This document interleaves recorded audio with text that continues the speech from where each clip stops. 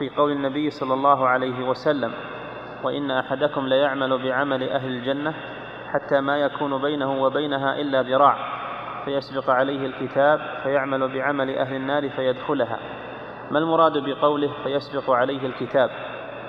الكتاب المقدر كتاب القدر. هذا مقدر أنه من أهل النار. فهو يعمل بالطاعات لكن يختم له بالكفر فيدخل النار. لأن العبرة بالخواتيم وهذا يعمل مكتوب أنه من أهل الجنة فيعمل بالكفر طول حياته قبل يموت قدر الله أنه تاب توبة صحيحة ومات على التوبة فيدخل الجنة. الأعمال بالخواتيم هذا يعطي الإنسان أنه ما يغتر بعمله يعطيه أنه ما يغتر بعمله ويعجب بعمله ويجزم لنفسه أو لأحد بالجنة.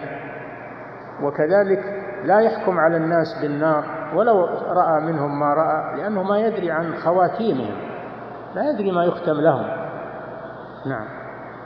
في بعض روايات الحديث فيما يظهر للناس يكون هذا في المنافق أن الحديث يعني المنافق. ولكن كما ذكرنا الحديث يدل على أن العبرة بالخواتيم وأن الإنسان لا يغتر بعمله أو عمل غيره ويحكم بالجنة.